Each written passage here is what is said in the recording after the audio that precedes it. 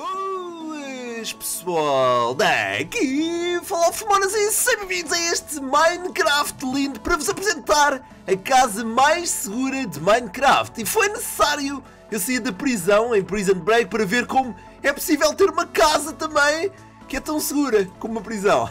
e mataram a prisioneira. Brincar pessoal, não vamos matar ninguém. Estamos aqui para apresentar esta casa que tem vários mecanismos de redstone que eu fiquei Uau! É incrível! Como é que é possível fazer algo assim? Vocês próprios podem fazer isto no Survival. Eu acredito que vocês conseguem, vocês são incríveis, Fenarquia. Mas vamos começar. Ok, nós temos esta chave de casa na mão, que é até bastante brilhante. Oh, vejam que ela, ela ilumina tudo. Ah, mas vai-nos permitir entrar dentro de casa. Vamos primeiro de tudo colocar a chave de, chave de casa na, na fechadura. Um, ok. Esqueçam a parte de estar a pescar, ok? Eu não sei porque acho que... Oh damn, acho que tem a ver com os shaders, mas o que acontece é que o primeiro mecanismo de defesa é esta ponte. Agora, como é óbvio, pessoal, vocês podem. Uh, eu queria só explicar isto desde já no início. Como é óbvio, se vocês estiverem no survival ou no modo criativo, vocês, como é óbvio, podem, por exemplo, construir através deste, desta, desta, deste buraco gigante. Estava a faltar o nome, mas deste, deste buraco gigante mas nós estamos a supor que vocês estão a jogar num modo de aventura em que não é possível colocar blocos ou que estão a jogar tipo num servidor qualquer e não podem usar qualquer tipo de uh, survival mode. Ok, mas depois começamos aqui pessoal, entramos aqui e esta é a porta principal.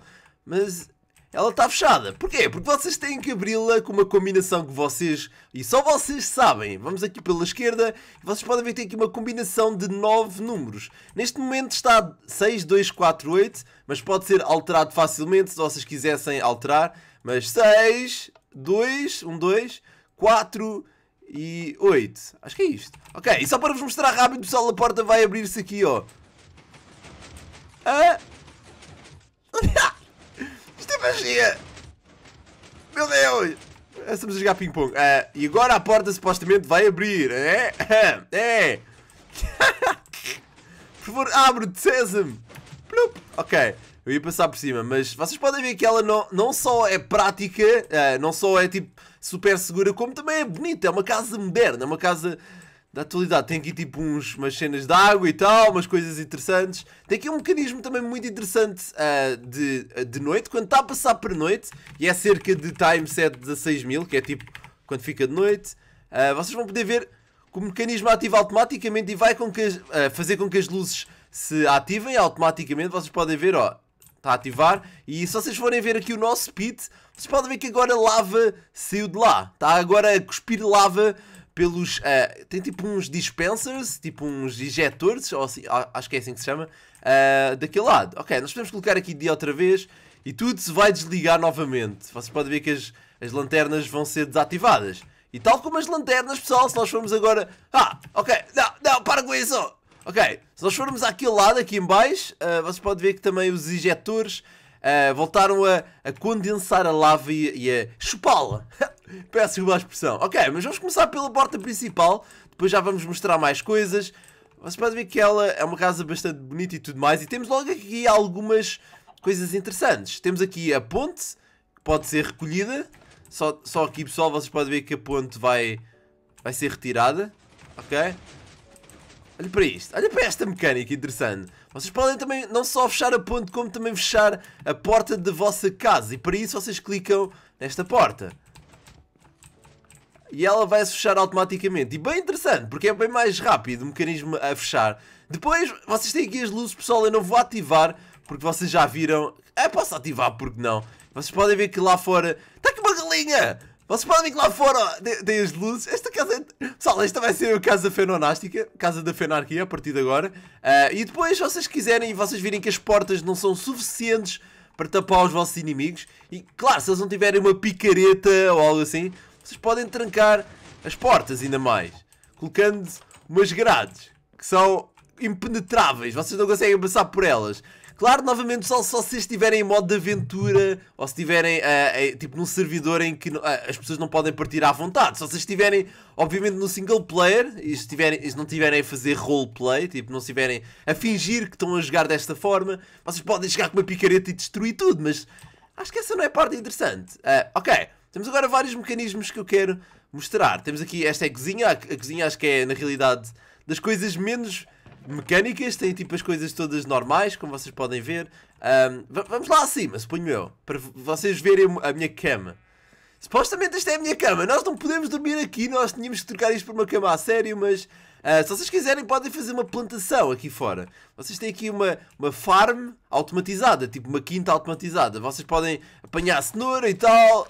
Claro que eu não quero apanhá-lo e tal, mas temos aqui para colocar no baú. Depois colocamos aqui a cenoura novamente, aqui, e podemos automatizar. E cá está. E já tem a cenoura outra vez completamente uh, pronta. Ok, mas vamos agora descer as escadas. Vamos agora deixar as cenouras de lado e mostrar outra mecânica super interessante. E para isso vocês podem ver tem aqui uma madeira diferente do normal. Tem, tem aqui um botão. Por que raio que eu vou estar em cima deste bloco de madeira e clicar no botão? Para ativar uma mecânica secreta, pessoal, que nos permite ir até à parte de baixo da nossa casa secreta. E é uma mecânica interessante. Ok, vamos só colocar aqui a cenoura que não nos interessa, só para mostrar aqui a Storage Unit, que é basicamente a unidade uh, de guardar ou, ou, ou, pedir itens, basicamente. Imaginem que vocês querem um diamante e querem, por exemplo, o que é que vocês podem querer mais com diamante? E ferro. Imaginando, aquilo não é ferro, é ouro. Eu sou cego, pessoal, não liguem. Vocês clicando neste botão de output, vocês podem ver que neste botão vai aparecer agora aquilo que vocês pediram. Neste caso foi uh, ferro e diamante. Que devia aparecer a qualquer momento agora. Cá está. Ah, isto nunca se atrasa. E agora supostamente deve também aparecer uh, ouro, não ferro.